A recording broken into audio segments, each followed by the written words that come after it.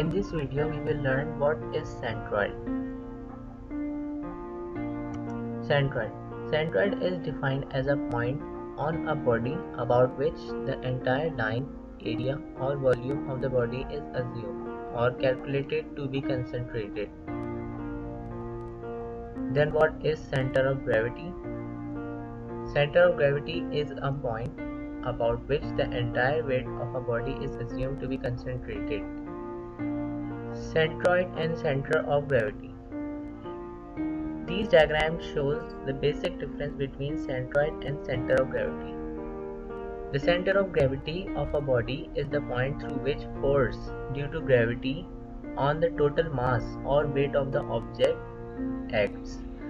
The corresponding position on a plane surface that is two-dimensional cross-sectional area is known as centroid.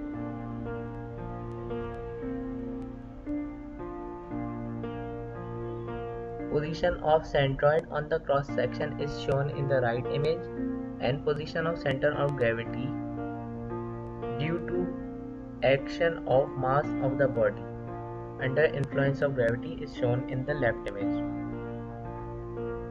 Formulation for calculating centroid. The x bar denotes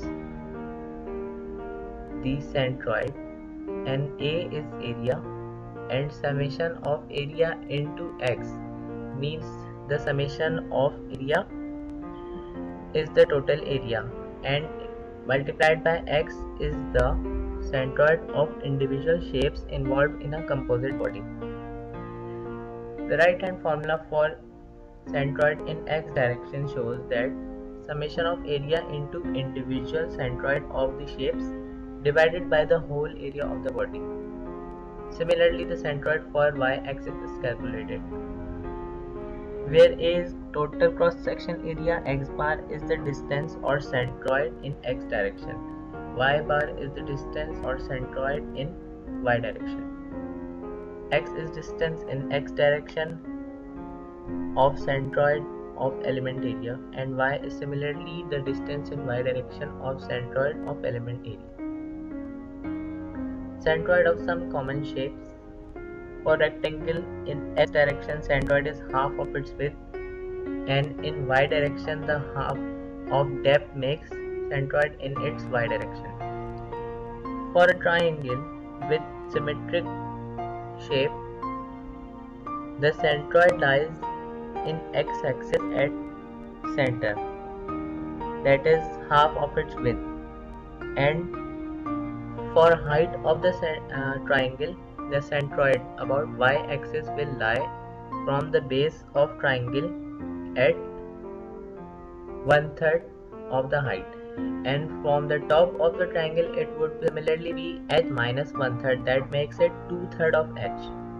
Basically the centroid here from x-axis the distance measured is y bar. That is the centroid of the body. And it will be h by 3 for unsymmetric triangle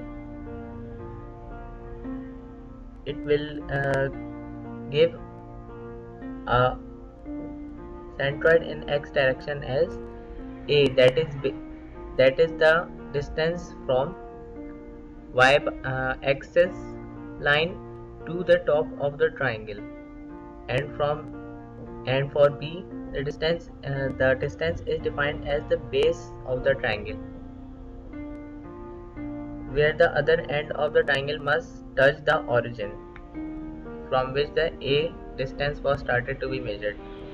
The x bar uh, centroid will be A plus B divided by 3 and the y bar centroid will be h by 3 the same way we considered in the second triangle.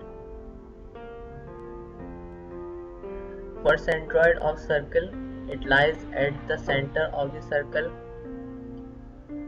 that is half of the diameter or radius similar for y direction cases. Thank you for watching.